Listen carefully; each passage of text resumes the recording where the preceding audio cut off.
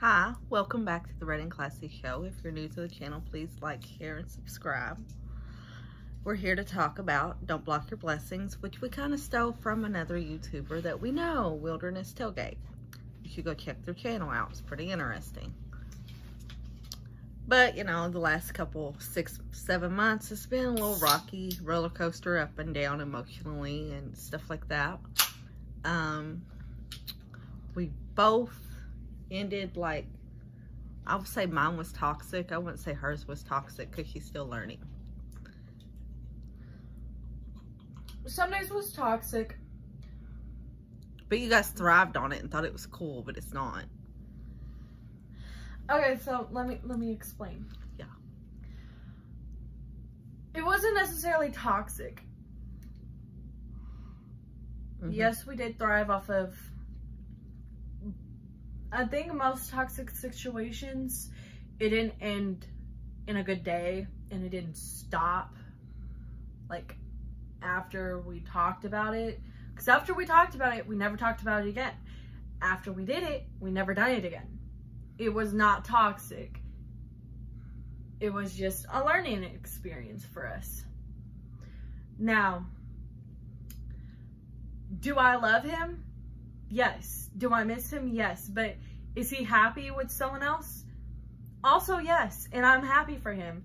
And i will never put him down for finding happiness in someone that he deserves to be happy with. If he was not happy with me and he he was not happy with me and he let me know. And i'm glad for that. I'm glad he did not leave me on Mhm. whenever he had a girlfriend and had me on the side. I respect him for that because a lot of guys have done that to me where I would be either the main or the side, but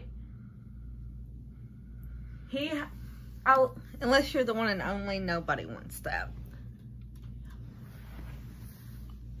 me and him are really, really good friends and I'm not going to ever have anything negative to say about him because he's always been a positive outlook for me.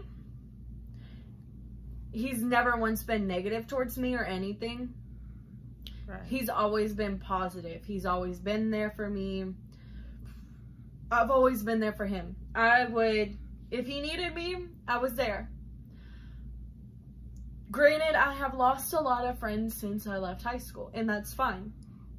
He's just my best friend, and I didn't expect to lose him at all. But if I have to step out of his life so he can be happy with someone else, I will.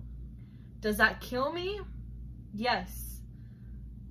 Do I want him to call me and tell me that he misses me as well? Yeah, I kind of do. I want him to show up randomly and just hug me and tell me everything's going to be fine. But I know while he has a girlfriend, that'll never happen, and I can understand why.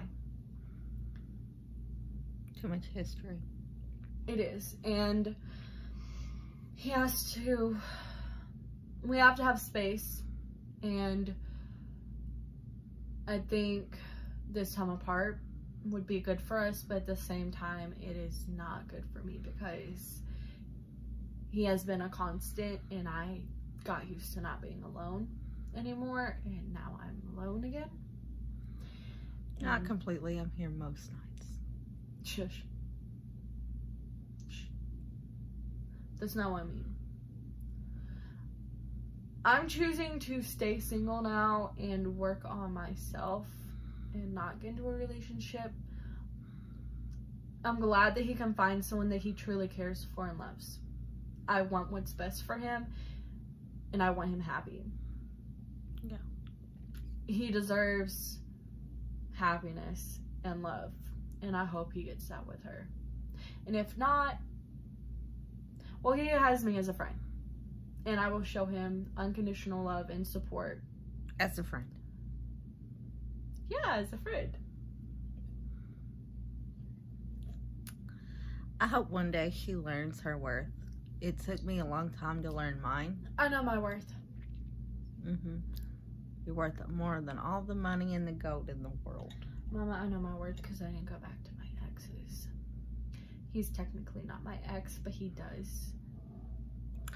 He's better than at least one of my exes. Oh yeah. Now the other one, He wasn't toxic at all. he was too much of a nice guy and they bore me. It wasn't that he was boring. It was It was too healthy for me at the time and it really wasn't because he let her be mean to him, push him around, and he was like a yes man. Um, we like a challenge. We like to be told no. he's my challenge and honestly The new guy, yeah. the new guy is a challenge. We're both a challenge for each other. We're difficult for each other. But they too- respect each other. We respected each other a lot. Uh, we respected that we had our challenges and we had our difficulties and we had our issues and at the end of the day we could work through our issues our difficulties and our problems and talk about it and talk through it and come to some sort of agreement. We had a very good communication system. We were very good for each other sometimes most of the time, honestly. Um, he, even though he didn't want a relationship, he did relationship things with her. Um, he always made sure she was okay. She wasn't feeling well. He would go get her something to eat, something to drink. You know, just took really good care of her. So then when it come to it's all of a sudden end, it was like a shock to her. it was practically a breakup without it being a breakup. And Mhm. the thing is, I don't know if he's really coming back this time or not. And he always does. He I really hope he does. this time because Whatever. he's my best friend. if you could keep it as just friends so it would be less complicated We can't right now. mm. Maybe one day. But right now, think we can keep it just as friends. but I'm extremely proud of him though.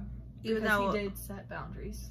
yeah, even though people have done us dirty the last seven months um, we didn't set out to destroy Or hurt. hurt, Or be petty.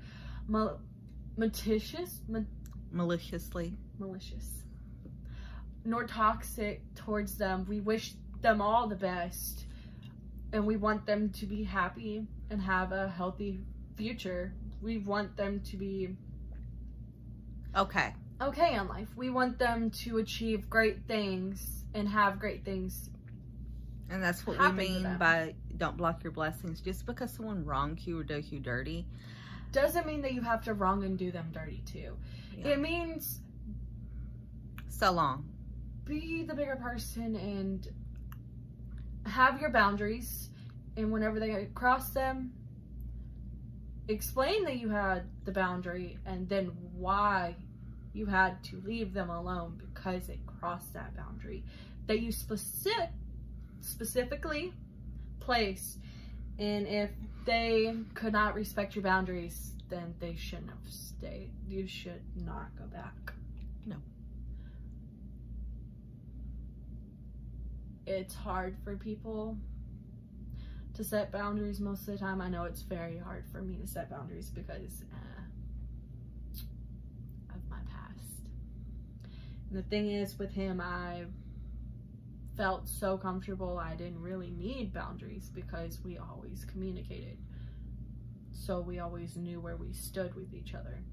right Just took me a shock that he ended it abruptly instead of me being able to see a change in him or anything. I didn't see much, but I knew it was coming. I knew. And it hurt because I knew it was coming, but also that I didn't expect it to come. But he's happy. And that's all I can wish for and hope for. I want him happy. Thanks for tuning in to the Red N Classy show Like, share, comment, comment, and subscribe. subscribe, and have a blessed night. Mhm.